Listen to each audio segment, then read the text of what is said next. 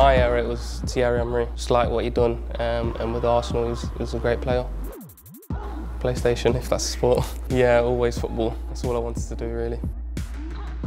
I like a bit of everything, R&B, rap, uh, yeah, hip hop, all, all, everything. Oh, don't even talk about that yet. no, I'm not sure yet. I've not thought that, that far ahead. I've done Fresh Prince of Bel-Air.